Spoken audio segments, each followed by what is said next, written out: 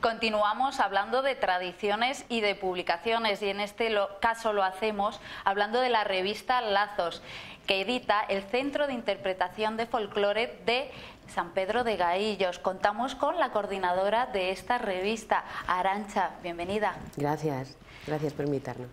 Hablamos de un número 54 en el que se incluye un proyecto muy bonito al que habéis bautizado como Museo Sonoro. Sí, el Museo Sonoro eh, hemos hecho ya una, primera fase. Es un proyecto que surge en una primera colaboración que tuvimos con el, Museo Etnográfico de Castilla y León. Y bueno, ellos tenían ahí un proyecto eh, que se llama el Museo Sonoro, pero bueno, eh, no está dirigido al ámbito escolar. ¿no? Entonces nosotros lo que hemos querido es, partiendo de esa idea, eh, meternos en, las escuelas, con permiso de los maestros, y, trabajar con ellos en este proyecto que, une la tradición, el medio radiofónico y, se desarrolla en la escuela. Entonces ahí los niños, eh, lo que trabajamos con ellos son mm, pequeños proyectos de investigación etnográfica en los que ellos tienen que hablar con los mayores, entrevistarles y todo eso luego lo, refundimos y le damos un formato de programa de radio en el que ellos pues ahí se, divierten mucho, ¿no? En, bueno, pues montan su pequeño museo sonoro que se compone de piezas, canciones y todas esas cosas que han, que han investigado. Ya tenemos cinco capítulos de este museo sonoro que recorrido nos ha permitido hacer juntando las tradiciones de nuestra provincia con la juventud y las nuevas generaciones. Bueno, pues este primer proyecto lo hemos hecho eh, en un CRA, en el CRA Reyes Católicos que está en Turegano, pero tiene mm, eh, aulas en San Pedro de Gaillos y en Beganzones, además de las de Turegano. Hicimos un primer capítulo, como no podía ser de otro modo, en San Pedro, que es donde nosotros trabajamos, y lo hicimos con los niños de, del aula de San Pedro, que nos permitió pues, bueno, ir eh, dándole forma al proyecto, mejorándolo, y, bueno, el primer capítulo se hizo allí y luego ya nos fuimos a Veganzones eh, y luego ya el resto de capítulos en Turegano. Hemos podido eh, conocer a personajes como el Zorra de Veganzones, que recientemente pues, se ha recuperado el traje, se ha, hecho una reproducción y bueno, pues los, niños nos han contado entusiasmados pues, esas historias ¿no? de su pueblo que querían que formaran parte de este museo. Eh, hemos grabado con ellos a los mayores que les han cantado canciones, les han contado cómo era la escuela de antes, les han contado cómo era la fiesta de Turégano, en el caso de Turégano, ¿no? la fiesta de, San Andrés, cómo era antes, cómo era ahora.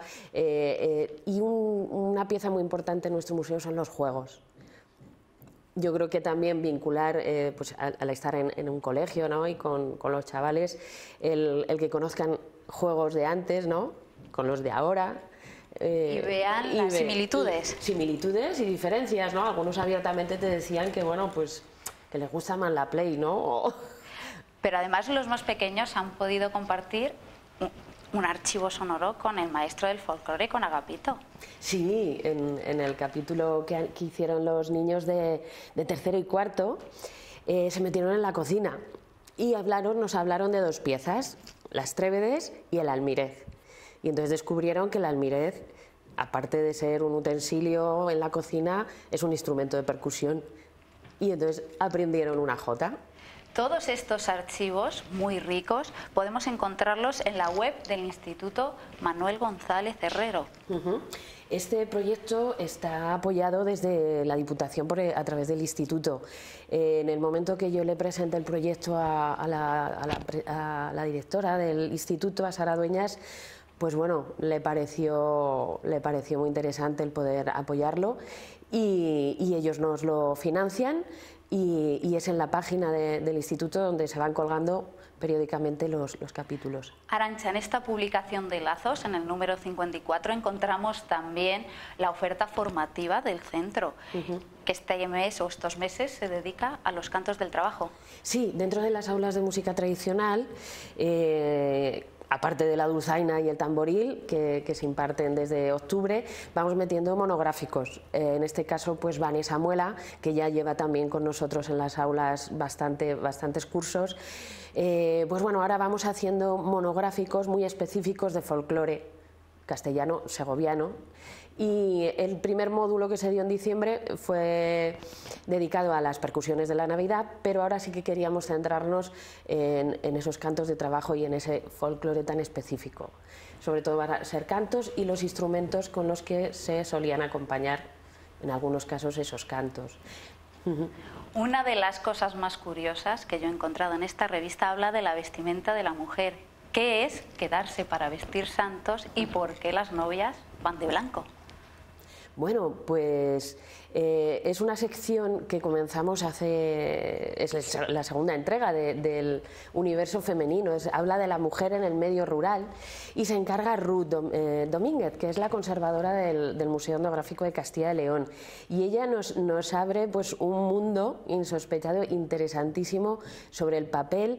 Eh, y bueno, el papel de la mujer en el medio, cómo ha cambiado y, bueno, eh, todo eso es simbología que se llevaba en el atuendo y en, el, en, el, en, el, en muchas, en, muchas en, la vestimenta y en muchas costumbres, ¿no?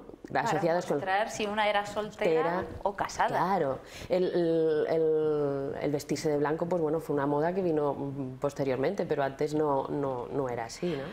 Además enseñáis otros términos como lo que significa la refotografía.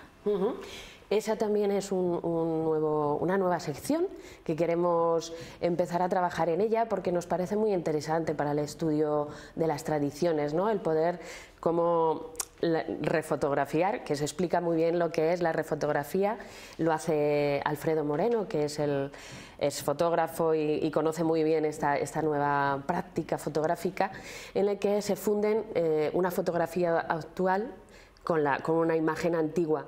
Se trata de fotografiar desde el mismo punto que lo hizo el fotógrafo en la foto antigua, esa misma foto y fundir. ¿no? Eh, es una sensación muy, muy interesante. Entonces, queremos eh, trabajar en esta sección y en próximos números estamos ya buscando nuevas imágenes para buscar solapar la, la, la imagen actual de ese lugar con la imagen antigua. Arancha, no nos queda mucho tiempo, pero hay que decir a los espectadores que en esta revista también se encuentran tradiciones o utensilios tradicionales como las cantareras, los cántaros, todo aquello que servía para traer el agua a los hogares. No nos queda más que agradecerte tu visita de hoy a 8 Magazine y te esperamos próximamente para hablar de nuevos números de la revista Lazos. Cuando queráis. Gracias. Nosotros así nos despedimos. Recuerden que 8 Magazine regresa el jueves, pero mañana yo me reencuentro con ustedes en Hecho en Segovia. Les enseñaremos cómo se hace el pan.